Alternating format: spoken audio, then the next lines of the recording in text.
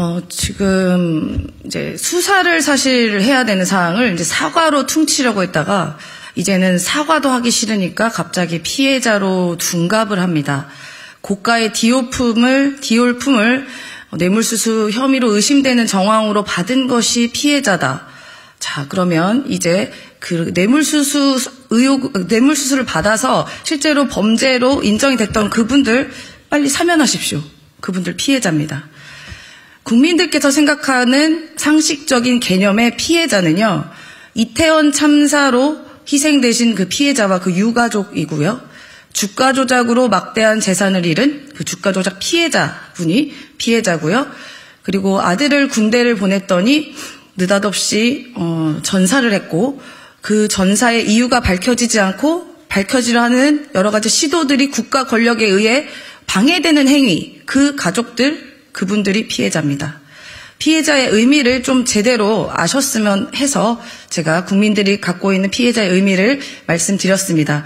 지금 김건희 씨가 받은 디올백, 고가의 디올백을 받은 그런 행위는 피해자가 아니라 국민들이 어떻게 이야기하냐.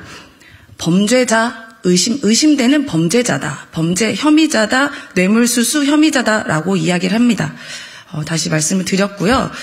그리고 지금 많은 선례를 남겼는데요. 지금 고위 공직자 그리고 고위 공직자의 가족들 당연히 우리가 국가 공무원이고 공무에 임하고 있는 가족이기 때문에 여러 부정 부정 비리 부정과 관련되는 여러 가지 물품들과 어, 이런 금전적인 건 받을 수가 없잖아요. 이젠 선례를 남겼습니다. 고위 공직자 가족들은 고가의 물품을 수수하고 그 다음에 피해자라고 우기면 됩니다. 여러 가지 선례를 남겨준 어, 대통령 가족들이고요. 어, 언제까지 국민의 눈과 귀를 속일지 국민들은 다 지켜보고 있는데 어, 언제까지 속일 수 있을지 모르겠습니다. 이제 그 비판의 강도는 이제 저희가 비판 수준을 넘어서서 정말 불길처럼 일어날 것이다라고 생각 들고 그 정권의 말로는 과히 행복할 것 같지 않다라고 생각합니다. 이번 디올백 수수건 관련해서 이번에 경찰이 최재형 목사를 어, 기소를 했죠. 아니, 소환을 했죠. 어, 수, 수사를 했죠. 수사를 했는데 제목이 주거, 침, 주거 침입이라고 합니다. 이제 이젠 자꾸 이상한 선례를 만드는데요. 초대받고 그 집에 가면 이제 주거 침입되는 겁니다. 물건 갖고 들어가면요.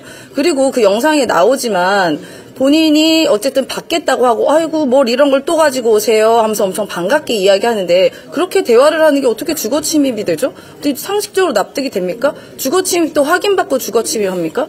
아니 기자가 검, 예전에 한동훈 장관 집 앞에서 잠깐 취재하겠다고 똑똑 두드린 것도 주거 침입 하는 사람 재미를 받는지 이젠 뭐만 하면 주거 침입 뭐만 하면 피해자 도대체 양심 있고 법 공부한 분들 아니에요 도대체?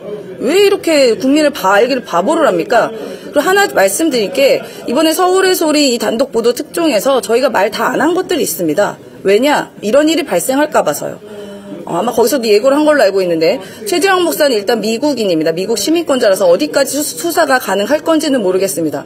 그 당시 어떤 전제로 어, 그 영상을 다 공개를 안 했냐 하면 만약에 최재형 목사에 대한 어떠한 위해가 가해진다 하면은 추가적인 영상을 공개를 고려하겠다라고 이야기를 했습니다.